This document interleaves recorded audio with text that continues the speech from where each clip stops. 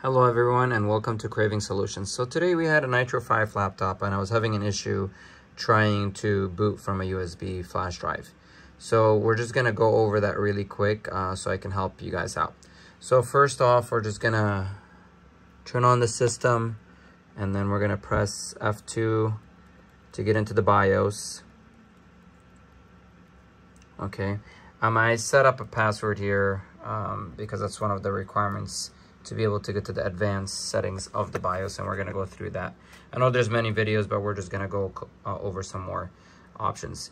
So one hidden menu uh, that like almost no video showed me was when you go to the main menu here, you can actually hit Control S, Control S, uh, hold them together, and it will show up um, the the SATA mode, SATA mode, and you could uh, change um, if it helps uh, you in any way with, um, you could change it to basically AHCI, which is the Advanced Host Controller Interface.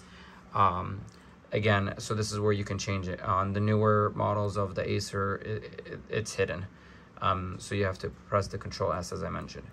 Also, you're going to want to go to the security and I believe you will not be able to change uh, here or actually back in the main uh, you'll have to go to the F12 right here, boot menu, and you'll have to enable it.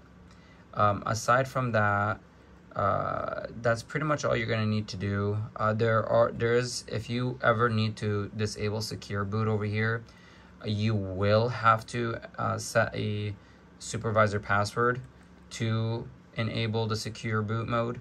So you have to go to the um, set super now, obviously I have one here, so I, I won't be able to just, you know, usually the enter current password will not be here. And once you're done and you no longer need this, I would highly recommend you just remove it completely. Like for me, I just made the password simply clear. Um, so C-L-E-A-R. And then what you do is you hit enter and then you leave these two other areas blank. And that's it, you're done. But what, what's gonna happen is all the options under become grayed out and you can't change any of them. Uh, however, you, you should be able to still um, have this enabled over here. You should still be able to um, see, um, actually you will not be, uh, yep, actually it's a good thing that we went did this.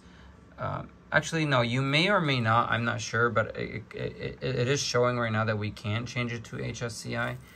Um, so you shouldn't so basically this shouldn't be affected. Uh, but basically, this was just a quick video to show you guys how you would uh, do this if for any reason you needed to do this.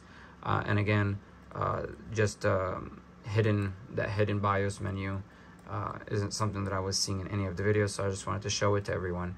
And again, if you are trying to boot from a USB flash drive and it is not working, simply make sure it is formatted in FAT32 um, when you create it, and then you shouldn't have any problems. Um, you'll also um, and just to kind of quickly show this, we're gonna save and I'm gonna hit the F12 over here as soon as it boots up, just to show you and demonstrate that if your flash drive is working properly, you will see it in the boot options. So pressing F12 here.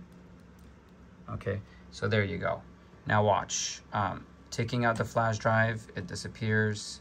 Okay, and putting it back, it appears. So if it's not appearing all on its own, you don't have to reboot for it to appear or anything like that. Uh, it should just appear right away. And if it's not, it's probably just not formatted correctly. And that's prob probably why it's not working. I hope this video was helpful to many of you uh, that are watching this. Uh, be sure to like, subscribe, comment. Motivates me to do more videos. And thanks for watching, everyone. Take care.